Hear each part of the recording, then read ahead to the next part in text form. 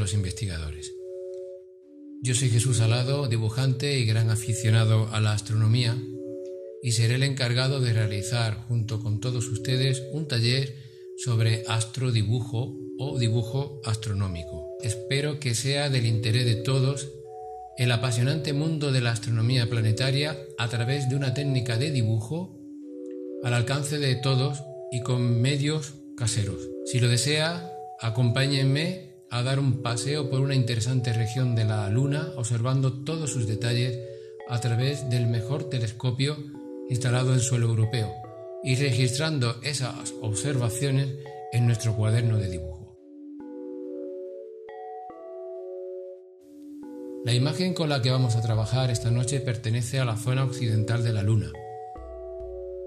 Estas imágenes fueron tomadas por los telescopios del observatorio por la zona cercana a la sombra. Este que vemos aquí es el cráter llamado Hevelius. Esta imagen ha sido tomada desde el observatorio a finales del mes pasado. Si disponéis de un telescopio o de unos binoculares en casa, yo os reto a que busquéis este bonito cráter que va a ser el protagonista de esta noche.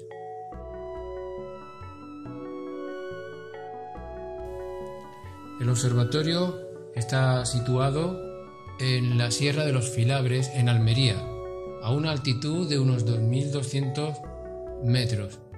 Las condiciones climáticas junto con la transparencia del cielo hacen que este lugar sea excepcional para la observación astronómica.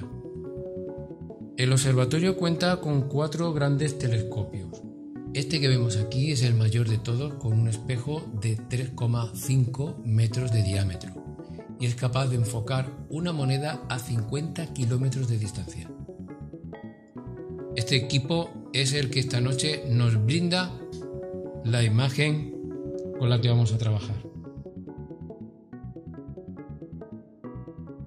Y ya antes de empezar a dibujar vamos a ver por último algunas características principales de, este fabuloso cráter.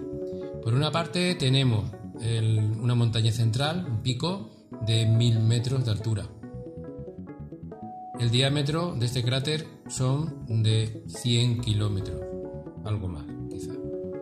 Y por último una característica que lo hace muy peculiar es que tiene en, el lecho del cráter, en la parte interior muy cerquita del pico, una especie de cruz marcada por lo que son las rimaes o grietas o fallas que se han producido en el interior.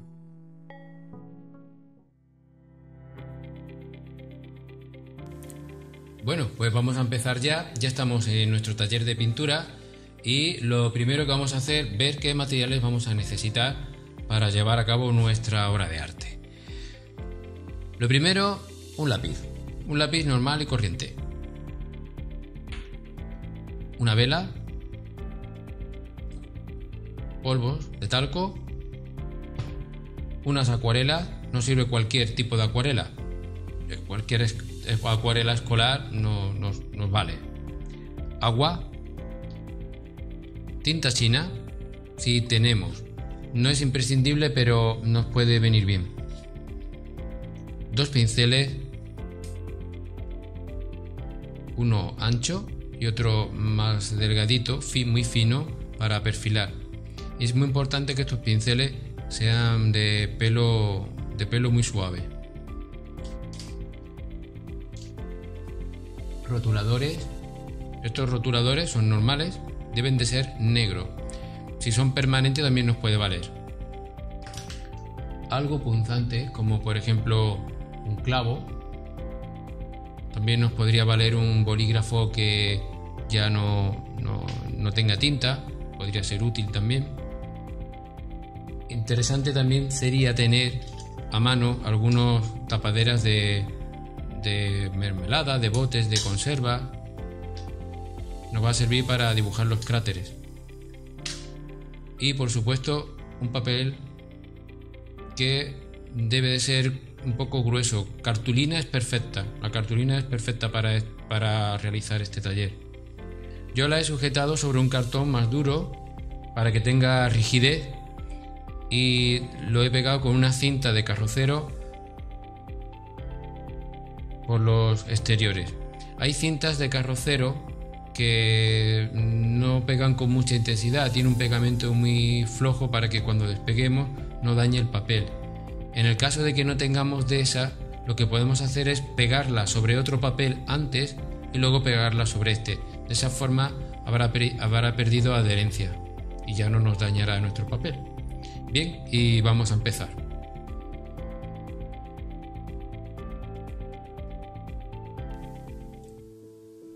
Vamos a empezar eh, dibujando el horizonte lunar. El horizonte de la luna lo vamos a hacer en la parte superior, cerca del límite superior de, nuestro papel y debe de ser un poco curvo. Tenemos que hacer una línea que vaya de una parte a otra curva. Para que nos salga bien de un solo trazo es muy sencillo. Vamos a colocar el codo en la parte inferior de la mesa, con la mano izquierda sujetamos con firmeza el papel marcamos la distancia que necesitamos y de un solo trazo ya lo tenemos. Como ven es muy sencillo, una fórmula muy sencilla de, hacerlo.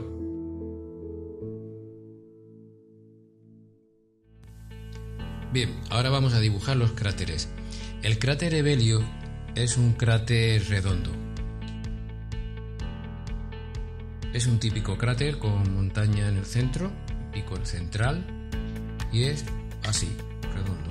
Pero claro, visto desde la Tierra, eh, este cráter no es redondo, sino que presenta una forma ovalada. El borde presenta una forma ovalada, así, más o menos. Por tanto, ¿cómo conseguir dibujar un óvalo si no tenemos mm, mucha, si no estamos muy acostumbrados a este tipo de dibujo? yo voy a enseñar un truco que nos puede ayudar mucho. Si observamos, es esto lo que queremos conseguir, un óvalo más o menos como estamos viendo la tapadera de, este bote de conservas, ¿no? Bien, pues ahora lo que vamos a hacer es observar no la tapadera, sino la sombra proyectada en el papel. Así. Ahora vemos un óvalo en el papel es el momento de que podemos calcarlo de su propia sombra. Ahí lo tenemos. Hacemos el mismo procedimiento en el cráter de la derecha.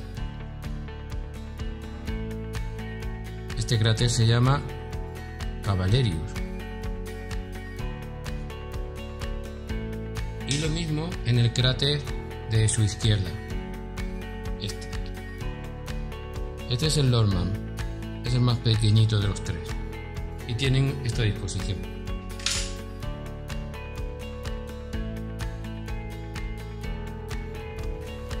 Y ahora vamos a aplicar eh, cera de la vela por todo el papel.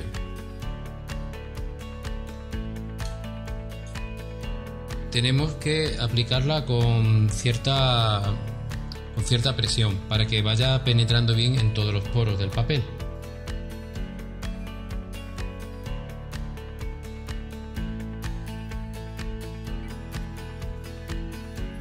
Cuando ya tenemos eh, la cera aplicada a todo, a todo el, el soporte, vamos a empezar ahora a añadir el talco.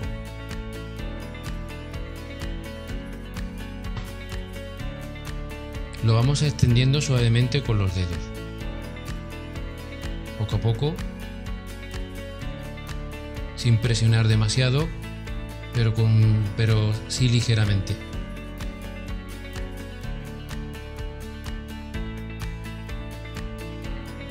Y así lo hacemos por toda la superficie.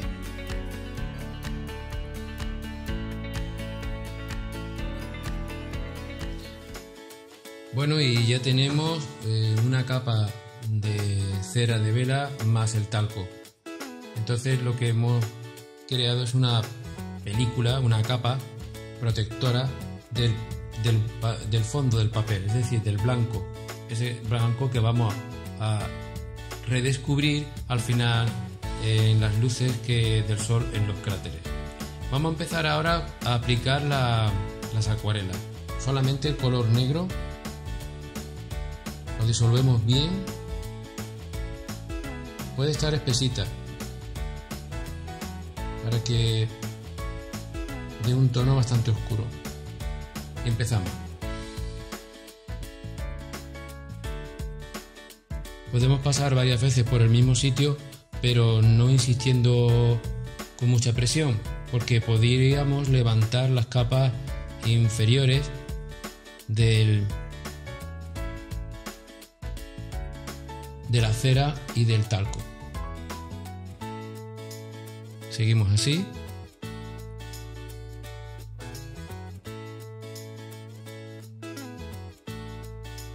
Podríamos dar varias capas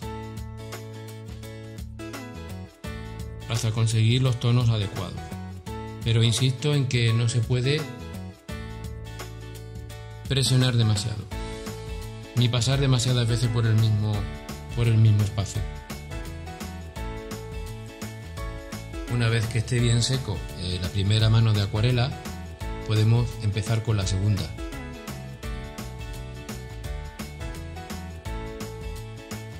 Yo voy a poner más cantidad en la parte superior, por aquí, de manera que voy disminuyendo la cantidad de color negro conforme voy bajando en el papel, haciendo un degradado, ya que tenemos aquí la zona iluminada de la luna y aquí la zona que está eh, eh, oscura.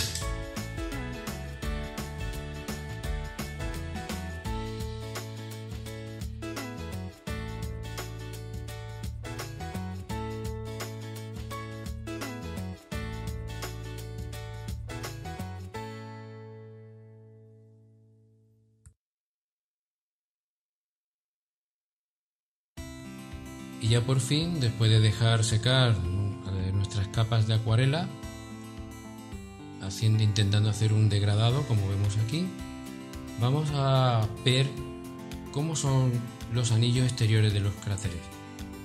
En nuestro cuaderno de campo, en las anotaciones que tomamos los dibujantes, podemos comprobar cómo estos anillos exteriores pueden proyectar sus sombras a veces hacia adentro o hacia fuera del cráter. Esto se puede conseguir fácilmente con una técnica conocida, la técnica del claroscuro, que la vamos a ver después. ¿Cómo se producen estos anillos? La superficie, en este caso de la Luna, recibe el impacto de un meteoro. Justo antes de tocar ah, se genera una gran explosión. Todo el espacio que hay aquí saldrá expulsados hacia afuera. Toneladas y toneladas de material irán hacia afuera, formando los anillos exteriores tan característicos y circulares.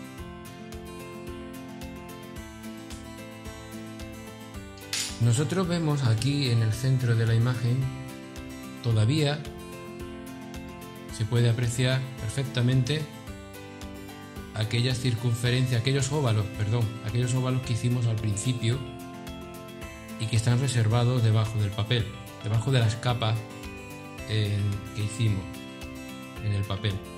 Pues bien, vamos a intentar ahora, basándonos en, en estos óvalos, proyectar esta sombra de estos anillos. Sombras y luces.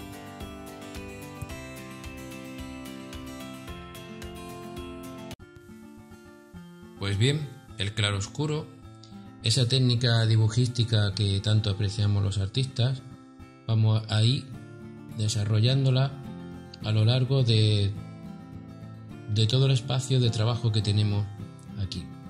Esta es la labor quizá un poco más, esta junta junto con el desgrafiado que haremos después a continuación, es la técnica quizá un poco más lenta y más llevadera, pero es muy bonita muy interesante y quiero eh, que la disfrutéis porque realmente merece la pena. Poco a poco vamos proyectando la sombra hacia el fondo, según la vemos en la imagen. Al principio igual, si nunca hemos hecho algo así, pues nos puede resultar un poco... Podemos tener algo de miedo de, que podamos estropear algo, pero pronto iremos cogiendo confianza y nos adaptaremos. Vamos a utilizar la, tinta china bastante espesa. Con el pincel pequeño. Es más finito que un buen pincel para conseguir perfilado. Buenos perfiles, buenas líneas. Y así estaremos retocando toda la obra.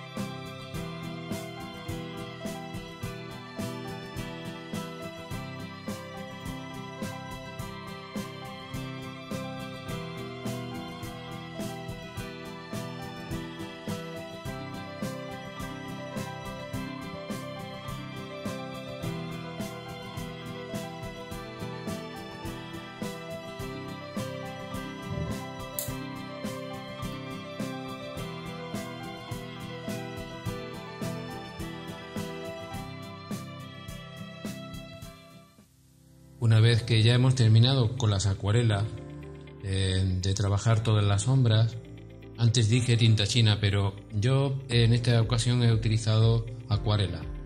Eh, ya podemos empezar a aplicar las luces. Podemos utilizar o bien una goma de borrar, nos puede ayudar bastante, y un clavo para las líneas más delgaditas. Si tenemos a mano una lupa, pues mejor. Yo voy a usar también una lupa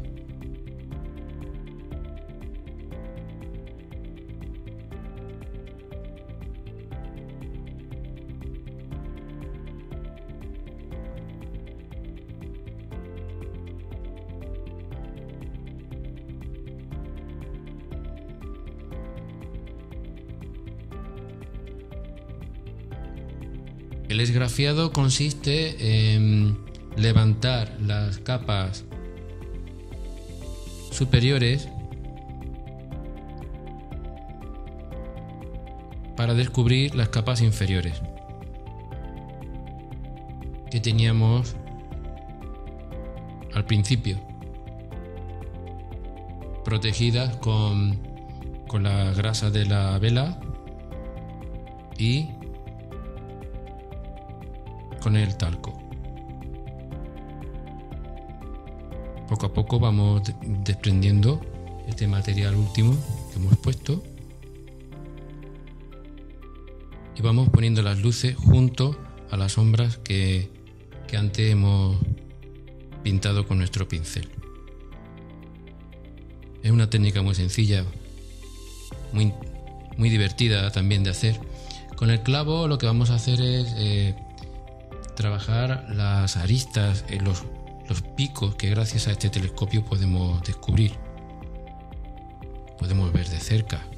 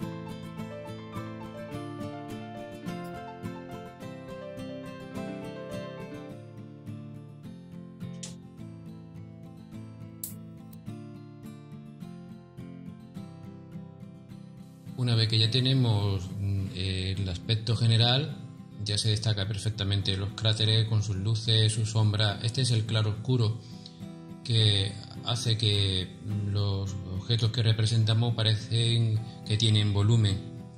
Em, vámonos al pico central, una parte muy importante de nuestro trabajo. Primero me gustaría explicar por qué aparece este pico. Después de, mm, de, de la explosión que, produce, que se produce por el impacto, hay un periodo de modificación, una etapa de modificación por la cual se ejercen fuerzas en la, cerca de la superficie hacia arriba. Esto provoca que de nuevo vuelva a elevarse formando aquí un pico. Este es el pico que tiene el Ebelius en su centro.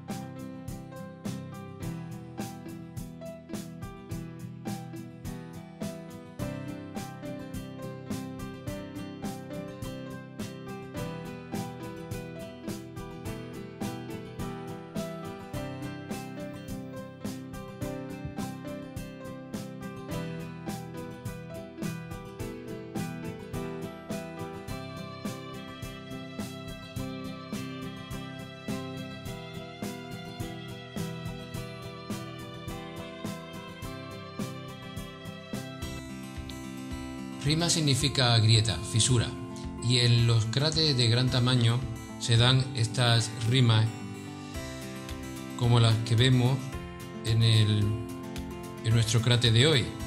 Estas fisuras se producen por las fracturas del lecho del cráter y solo son visibles en algunos telescopios de grandes proporciones como el que tenemos nosotros aquí. Por tanto, nuestro esquema final podría ser algo parecido a esto. Este podría ser el esquema de, nuestro cráter Hevelius.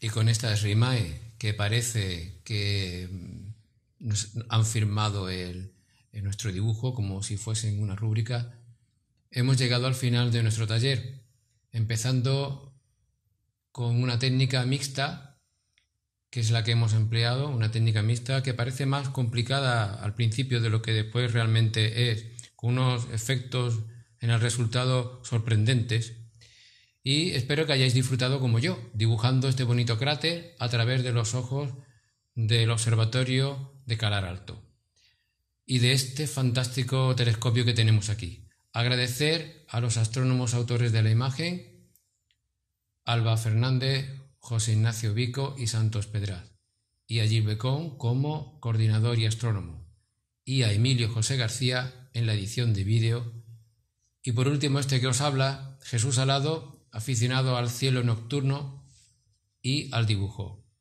Nada más, hasta la próxima y espero que esta noche disfrutéis de un bonito claro de luna.